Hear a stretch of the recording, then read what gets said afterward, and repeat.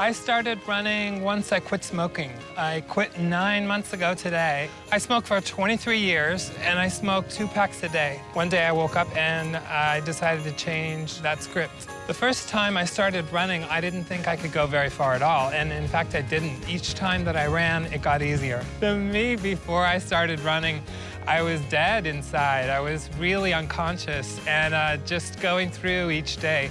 I am a completely different person. I'm more confident. I look forward to challenges. I look forward to going a little further, a little faster. I could breathe again. I run three times a week, and I run for about four or five miles each time. I plan on running a marathon one day. I love Jackrabbit because I feel like they have my back. I feel like they're in my corner. They treated me like I was a marathon runner. They helped me with what I needed. They asked me questions. They're runners there, so they know what things to look for in a shoe. I love Jackrabbit.